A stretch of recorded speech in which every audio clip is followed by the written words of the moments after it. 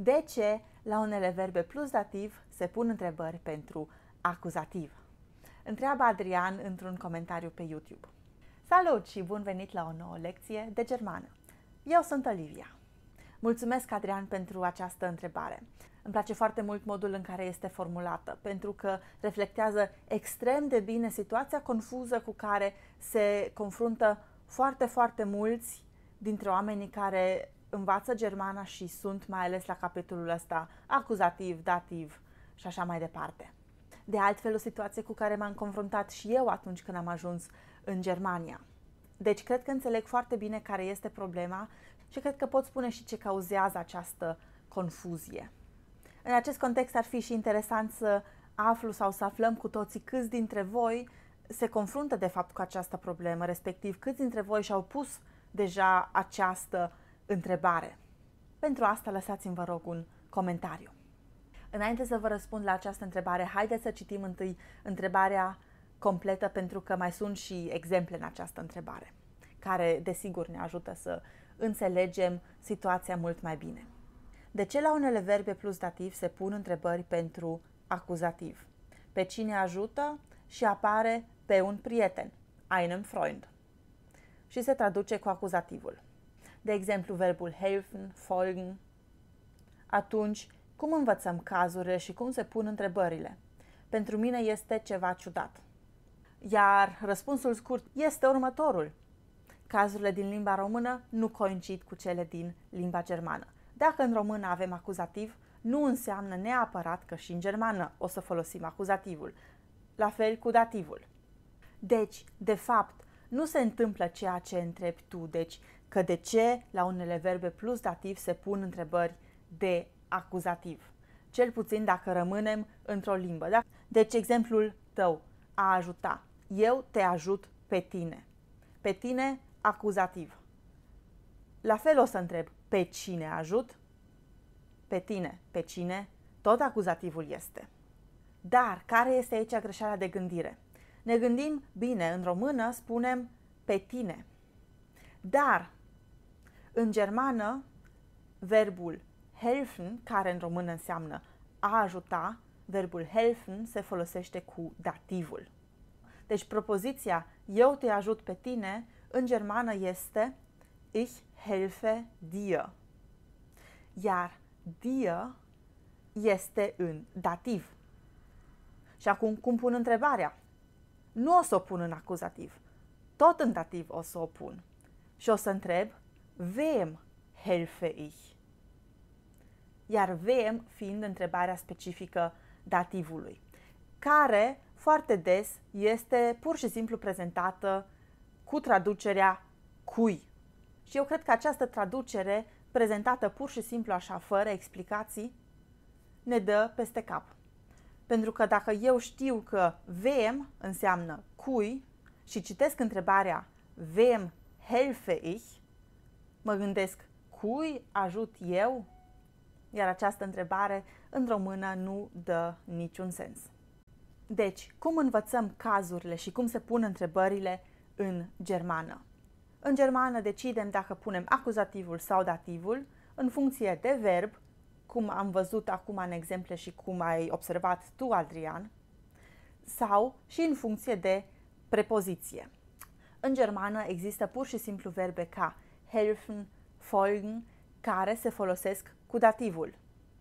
Și nu contează că în română ele se folosesc cu acuzativul.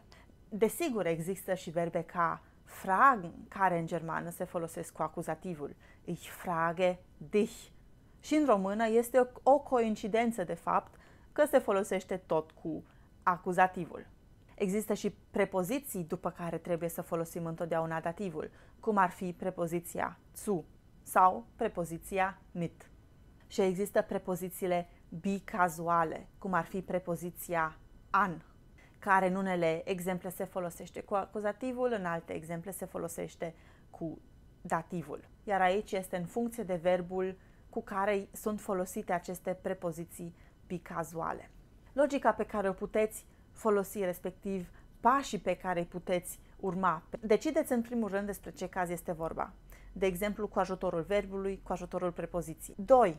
Și acum puteți să formulați propoziția enunțiativă folosind cazul corect pe care l-ați stabilit înainte cu ajutorul verbului, de exemplu, și fix la fel puneți și întrebarea. Știți că dacă vreți să puneți o întrebare cu verbul helfen sau folgen, trebuie să folosiți dativul. Pe de altă parte, dacă vreți să puneți o întrebare cu verbul fragen, trebuie să folosiți acuzativul.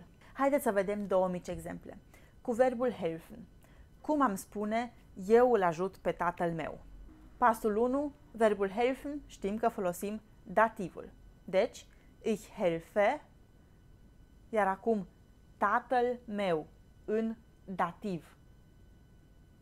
Meinem Vater. Ich helfe meinem Vater. Cum pun întrebarea? Care e întrebarea specifică dativului?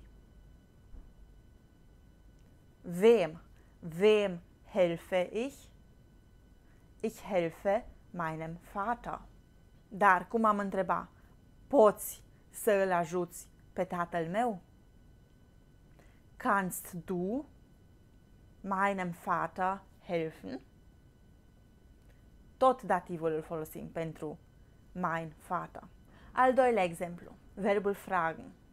Am spus mai înainte că verbul fragen cere acuzativul. Eu te întreb, eu te întreb pe tine. Ich frage dich. Și acum, cum întrebăm? Ca să avem ca răspuns pe tine. Deci, dich în germană.